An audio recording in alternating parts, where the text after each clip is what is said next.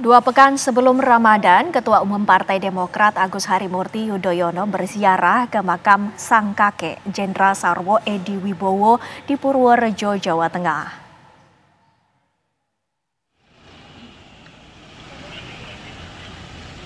Kedatangan Agus Harimurti Yudhoyono atau AHY bersama keluarga besar diterima langsung Bupati Purworejo Agus Bastian. AHY bersama sejumlah kerabat berziarah ke makam sang kakek Jenderal Sarwo Edi Wibowo. Di pusara kakeknya, AHY beserta keluarga memanjatkan doa dan juga melakukan tabur bunga. AHY juga beramah tamah dengan kerabatnya sesama keluarga besar Sarwo Edi Wibowo dan juga warga sekitar.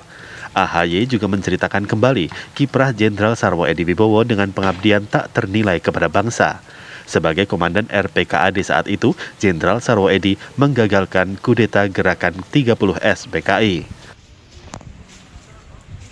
Dan tadi saya juga menitipkan harapan, ada Pak Bupati Purworejo, Pak Gus Bastian di sini, ada Mas Bram sebagai anggota DPR RI dari daerah pemilihan sini juga bersama-sama dengan keluarga besar Partai Demokrat lainnya ingin terus uh, menjadi bagian untuk bisa memajukan dan meningkatkan kesejahteraan masyarakat Purworejo khususnya dan juga masyarakat di Jawa Tengah. Inilah uh, ikhtiar dan perjuangan kita semua dan mudah-mudahan diberikan jalan yang terbaik ke depan. Usai melakukan ziarah ke makam sang kakek, AHY melanjutkan kembali kegiatan safari politik di Jawa Tengah ke Kabupaten Klaten dan Kota Solo. Dari Purworejo, Jawa Tengah, Edi Suryana, TV One mengabarkan.